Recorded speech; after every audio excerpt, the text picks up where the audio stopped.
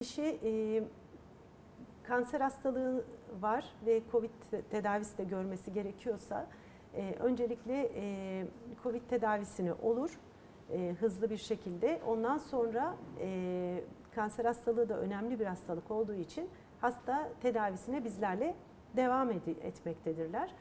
E, aşılarla ilgili şunu söyleyebilirim. Aşılar şöyledir.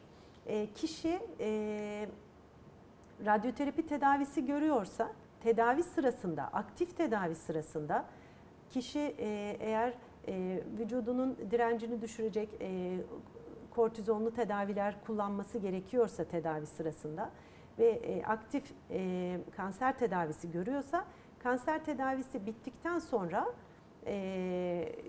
kişi aşısını vurdurabilir. Ama tedavi sırasında onu birebir kişi bazlı yani hasta bazlı biz değerlendirmesini yapıyoruz ve ona göre de hastanın e, e, ne zaman aşı vurulması ile ilgili bilgilendirme ve yönlendirmelerini yapmaktayız.